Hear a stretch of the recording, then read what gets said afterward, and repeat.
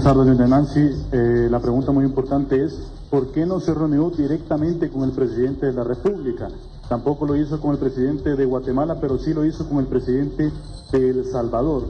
¿Por qué directamente no se dio esta reunión con el presidente? I have a question for you, Madam Pelosi.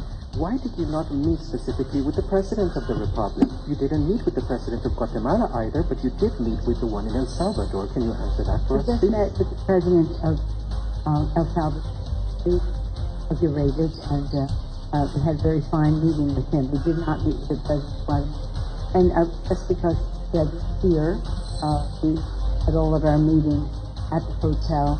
We had a priority uh, agenda, agenda of issues that we wanted to deal with. And usually, uh, when we visit a country, we listen to what the people have to say. And that, that's what we were doing.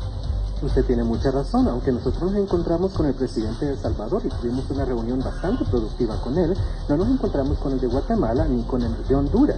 Ha sido una jornada bastante ocupada, eh, todas las reuniones las hemos tenido dentro de este hotel y nosotros queremos enfocarnos más que en hablar con él en nuestros asuntos de prioridad, que es escuchar a la gente, escuchar a las personas, las opiniones que ellos tienen y no escuchar de boca de él